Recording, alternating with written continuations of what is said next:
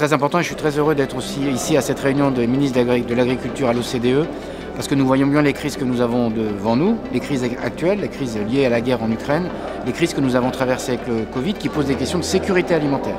Et puis devant nous, nous avons des crises à moyen et long terme, mais qu'on a déjà sous les yeux, qui sont liées au dérèglement climatique. Donc on a besoin de se réunir pour faire en sorte qu'on sécurise à la fois notre alimentation, et puis qu'on se projette dans l'avenir et qu'on trouve des solutions techniques, technologiques, des solutions de pratiques agricoles, je pense à l'agroécologie ou à d'autres pratiques qui nous permettent dans les années à venir d'assurer l'alimentation aujourd'hui de près de 8 milliards d'habitants et demain de 10 milliards. Et donc on a besoin de se réunir pour trouver les solutions et chercher les voies de la coopération. Et de ce point de vue-là, l'OCDE est un lieu